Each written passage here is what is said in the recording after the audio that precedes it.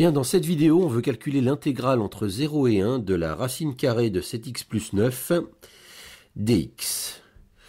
Euh, une racine carrée, ça s'intègre en la mettant, euh, en transformant la notation racine carrée en puissance 1,5 et en euh, traitant ceci comme une fonction puissance. Donc je vais dire que c'est l'intégrale entre 0 et 1 de 7x plus 9 à la puissance 1,5 dx.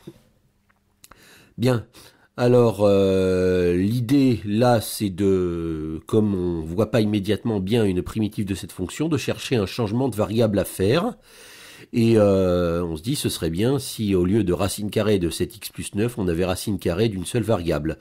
Donc on aimerait bien appeler, poser u égale 7x plus 9 et faire un changement de variable euh, comme ceci.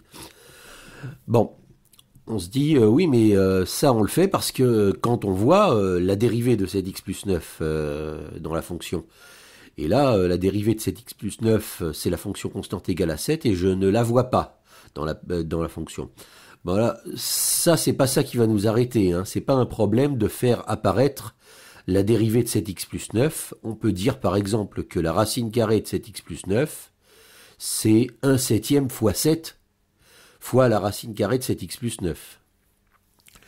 Et si on écrit ça, eh bien, on aura bien la dérivée de, de 7x plus 9, le 7 qui apparaît, et euh, ben, on aura euh, un coefficient 1 septième par lequel on va multiplier la valeur de notre intégrale. Ça ne posera aucun problème. Donc, on peut faire le changement de variable comme ça, ça va très bien passer.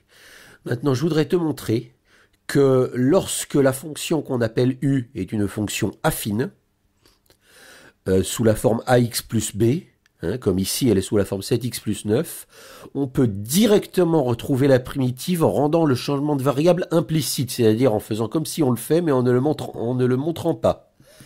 Hein, euh, parce qu'on a une règle qui est en quelque sorte un changement de variable escamoté pour trouver une primitive de, la fonction euh, racine de 7x plus 9, enfin d'une fonction composée dont la fonction à l'intérieur est affine, sans euh, vraiment expliciter euh, un changement de variable. Mais je te dis encore, si on avait poussé jusqu'au bout cette idée du changement de variable, on aurait trouvé l'intégrale sans problème. simplement, voilà, là on va la trouver, mais un petit peu plus rapidement, en appliquant la règle qui dit que je vais intégrer cette x plus 9 puissance 1,5, euh, comme si cette x plus 9 c'était une variable, comme si cette c'est comme si x plus 9 c'était u, c'était euh, c'était une seule lettre. Voilà. Et je vais ensuite prendre une petite précaution supplémentaire. Donc si je, si je considère 7x plus 9 comme étant un nom de variable, une seule entité, quand j'intègre, euh, puissance 1,5, là j'applique la règle de l'intégration de la fonction puissance. Quand j'intègre x puissance 1,5, l'exposant augmente de 1, ça me fait puissance 3,5. Donc là je vais avoir mon même 7x plus 9 qui va être à la puissance 3,5. Et il faut encore que je divise par le 3,5. Et divisé par le 3,5, ça va être multiplié par 2 tiers. Donc j'obtiens 2 tiers de 7x plus 9 à la puissance 3,5. Euh, ça, c'est presque la primitive que je cherche.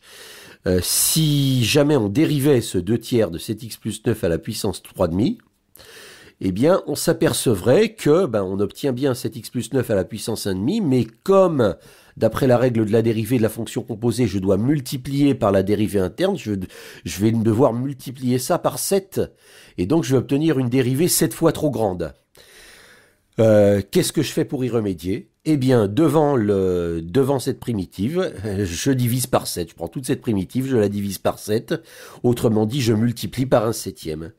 Et donc, je vais avoir un septième fois 2 tiers fois 7x plus 9 puissance 3,5. Voilà. Et donc euh, là, ça, lorsque je vais dériver ça, Hein, si je dérive le 2 tiers de 7x plus 9 puissance 3,5, j'obtiens bien effectivement une dérivée qui est 7 fois trop grande, mais comme je l'aurais multiplié par un septième, je vais bien retomber sur mes pattes, je vais retrouver exactement la fonction que j'avais au départ. Donc voilà, euh, voilà la primitive qu'on va prendre pour la fonction euh, qu'on avait au départ. Et donc on met autour de cette primitive-là des crochets et on la prend entre 0 et 1. Donc je résume ce qui se passe. Je résume ce qu'on a fait.